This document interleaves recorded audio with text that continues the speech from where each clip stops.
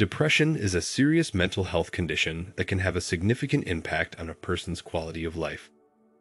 Before starting, don't forget to like and subscribe to our channel for more future updates. So, let's start. It is important to seek professional help if you are experiencing symptoms of depression, such as persistent feelings of sadness or hopelessness, loss of interest in activities you once enjoyed, changes in appetite or sleep patterns, difficulty concentrating, and thoughts of self-harm or suicide. Here are some strategies that can help you manage and overcome depression. Seek professional help. A mental health professional, such as a therapist or psychiatrist, can help you understand your symptoms and develop a treatment plan that may include therapy, medication, or both. Practice self-care. Engage in activities that promote physical and emotional well-being, such as regular exercise, healthy eating, and getting enough sleep. Take time for yourself and do things that bring you joy. Connect with others. Social support can be an important part of recovery from depression. Reach out to friends and family or consider joining a support group. Connecting with others can be an important part of managing depression.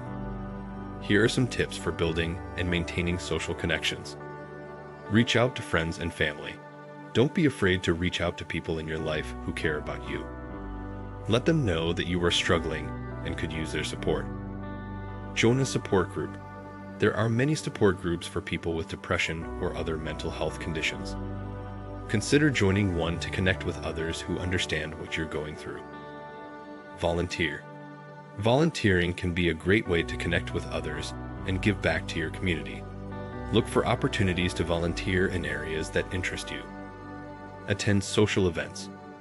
Even if you don't feel like socializing, try to attend social events anyway. You may find that being around other people helps lift your mood. Challenge negative thoughts. Depression can cause negative thoughts and self-talk.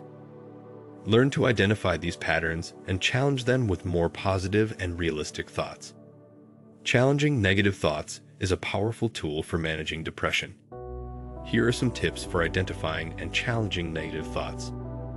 Pay attention to your thoughts. Take note of the negative thoughts that go through your mind. Write them down if it helps. Evaluate the evidence. Ask yourself if there is evidence to support your negative thoughts. Are they based on facts or assumptions? Are there alternative explanations? Set realistic goals.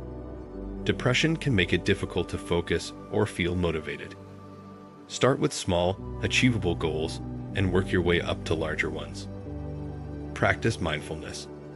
Mindfulness practices, such as meditation or deep breathing, can help you stay present in the moment and reduce stress and anxiety. This is it for today's video. What do you think of our video? Feel free to share your thoughts in the comment section below.